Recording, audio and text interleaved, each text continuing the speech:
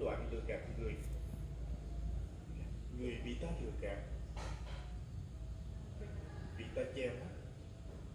Vẫn tuân kính mình Nhưng quỷ thần sẽ cười chê mình Ôi trời mình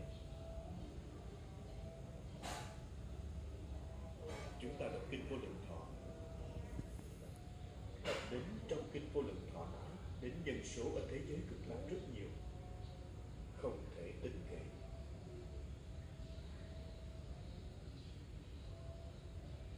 Mà mỗi người bản sanh Dù là hạ hạ phẩm bản sanh Thần thông đạo đức.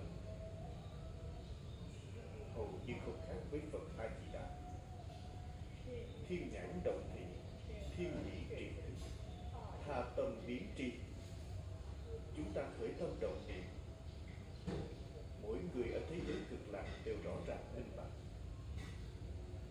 Ta muốn cầu vãng sanh. Khi lâm chung đến thiện dịch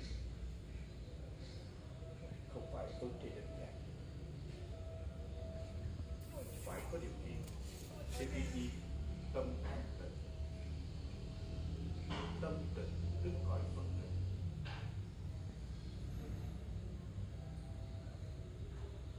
chỉ có niệm Phật đến tâm thanh tịnh. Khi lâm chung, Phật ở mới đến tiếp nhận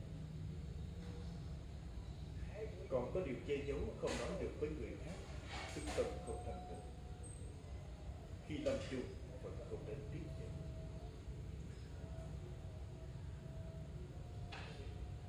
Chứ vị đồng tu phải biết pháp môn này dù một chút giả dối cũng không được làm. Chẳng phải đã từng nói với quý vị niệm phật không hoài nghi không xen tạp không được xen vào chút giả dối nào xen vào một chút giả dối xen vào một chút hư vọng xen vào một chút riêng tư đời này không thể phản xạ. Không phải phần không tự biết, không phải phần không tiếp nhận, là tự mình chứng ngại mình.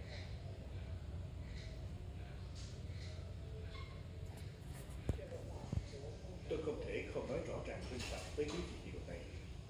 Tôi từng nói rất nhiều lần